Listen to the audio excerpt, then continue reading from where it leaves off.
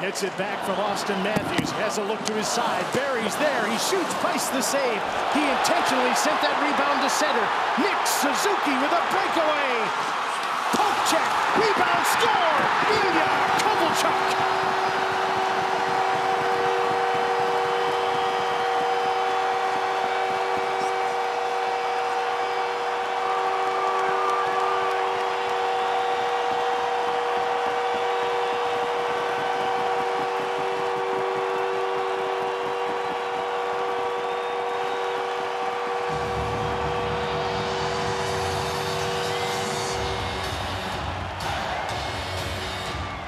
Montreal Canadiens are back in a playoff race.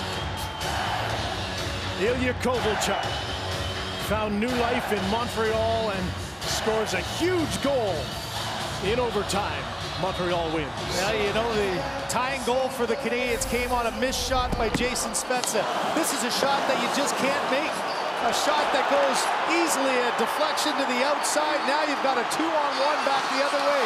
A great save by Campbell with the poke check on Suzuki. And how about the drama of Kovalchuk? I don't know if he's pointing up to the GM saying, thanks for signing me, but man, his life has just been rejuvenated here in Montreal.